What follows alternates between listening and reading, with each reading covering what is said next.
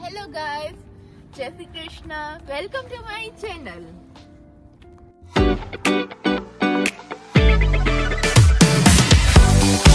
આજે આજે સન્ડે છે અને અમે નીકળ્યા છીએ વોકિંગ પર. અને આજે બહુ મસ્ત સની છે. અને એટલે અહીંયા બહુ મજા આવે છે વોકિંગ કરવાની. અને અમે વોકિંગ કરતા કરતા પહોંચી ગયા છીએ સ્કૂલ પાસે.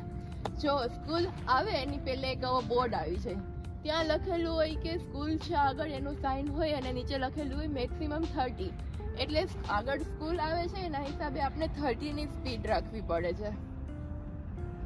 ચલો, આગળ હજી એક સ્પીડ કેમેરા છે.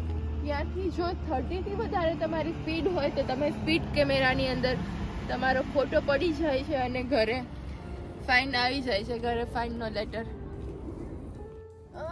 મેઇનલી આ મેક્સિમમ ત્રીસ સ્પીડ રાખવાનું એક જ રીઝન છે કે કોઈ સ્ટુડન્ટ રમતા હોય યા જ્યારે બી સ્કૂલ છૂટે ત્યારે સ્ટુડન્ટ બધા રોડ ક્રોસ કરતા હોય અને ઘણીવાર જો સ્ટુડન્ટ નાના હોવાથી ઘણીવાર રમતા રમતા રોડ પર આવી જાય અને કંઈ બી એક્સિડન્ટ ન બને તેના માટે આ ગવર્મેન્ટે બહુ સારો રૂલ્સ રૂલ્સ કાઢ્યો છે અને આ રૂલ્સ અહીંયા બહુ સ્ટ્રિક્ટલી ફોલો થાય છે. એમ કહી શકું તો ચાલે. હું તમને કેનેડાની સ્કૂલ વિશેની બધી વાત કરીશ.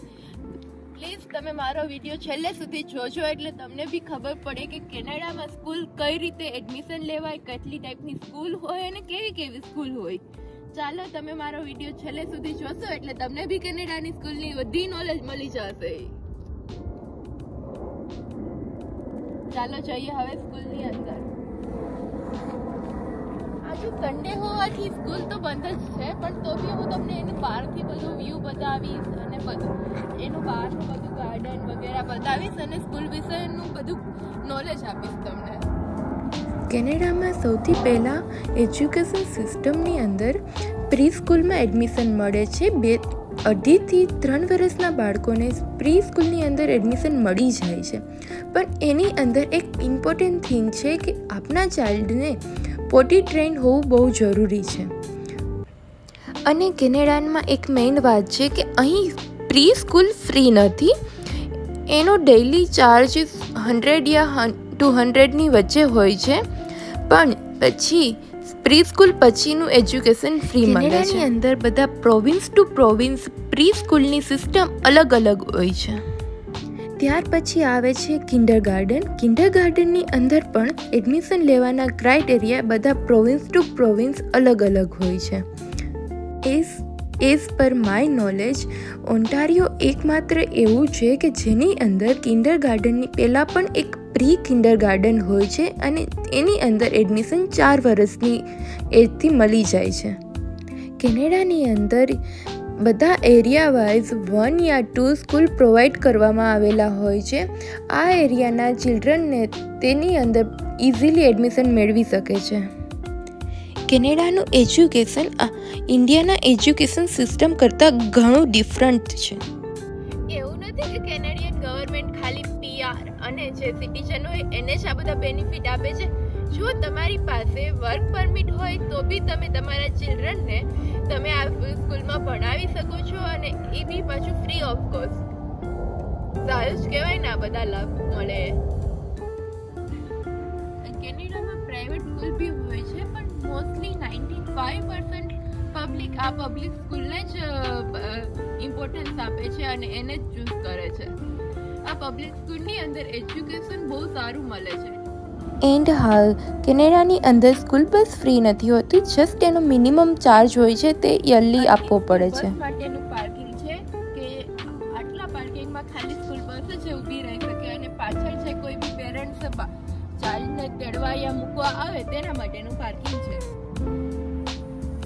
હવે આપણે વાત કરીએ કે આપણા ચિલ્ડ્રન માટે આપણે કઈ રીતે બેસ્ટ સ્કૂલ આપણે ફાઇન્ડ કરી શકીએ? એના માટે એક ઓનલાઈન વેબસાઇટ છે compare school ranking dot O R G આ વેબસાઇટ પરથી તમે તમારા ચિલ્ડ્રન માટેની ઓનલાઈન સૌથી બેસ્ટ પબ્લિક સ્કૂલને ફાઇન્ડ કરી શકો છો. આ વેબસાઇટની અંદર રેન્કિંગની સાથે સ્કૂલની ઓલ ઇન્ફોર્મેશન પણ આપેલી છે. બધી સ્કૂલમાં આ રીતે ફાયર હાઇડ્રેટ મૂકેલા હોય છે. જ્યારે બી સ્કૂલમાં આગ લાગે તો અહીંથી એ પાણીનો યુઝ કરી શકે છે અને એટલે સ્કૂલની સેફટી માટેનું અહીં બહુ ધ્યાન રાખવામાં આવે છે. ચાલો હવે આપણે જઈએ પ્લે ગાર્ડન તરફ. કેનેડાની સ્કૂલ વિશે હજુ એક વાત કરું કે અહીંની સ્કૂલની અંદર સ્ટુડન્ટ માટે મોસ્ટલી યુનિફોર્મ હોતા નથી. અમુક કેથોલિક સ્કૂલની અંદર યુનિફોર્મ હોય છે, બટ મોસ્ટલી સ્કૂલમાં યુનિફોર્મ હોતા નથી.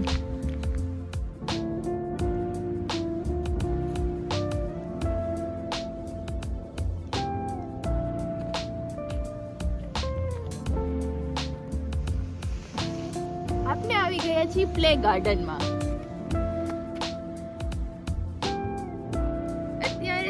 હિસાબે ગાર્ડન જેવું તો કંઈ દેખાતું નથી, પણ ખાલી તમને હું પ્લે એરિયા બતાવી શકું છું અત્યારે.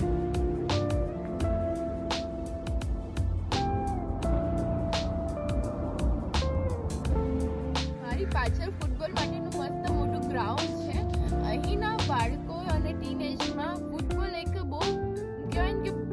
અને ફેવરિટ ગેમમાં ગણાય છે.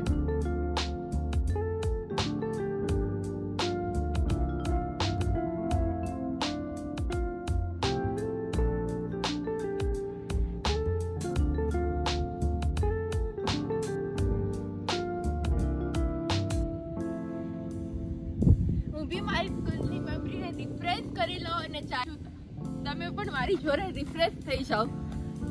તમને આજ તો મારો વ્લોગ કેવો લાગ્યો? પ્લીઝ કમેન્ટ કરીને જરૂર કહેજો.